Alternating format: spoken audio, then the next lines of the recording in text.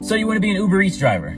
Let me show you how to use the app. First thing you're gonna wanna do is open the Uber driver app. Then go to the menu option in the top left-hand corner. From here, I click on promotion so I can see what kind of boost or bonuses that are in my area for that day. Once I'm good on that, I press the X button in the top left-hand corner to bring me back to the navigation screen. Here you can see it's pretty hot today. I can get paid up to an additional $3.50 delivering in some areas. Once I'm all set, I just press the go button down at the bottom. It'll take me online, not before I do the COVID screening check. You wanna just check all these these little boxes here, which will eventually bring you to an area where you have to verify your face. After you verify you are who you say you are, you will then be online. If by chance you don't want to be online, just slide up from the bottom and you can go to the offline mode.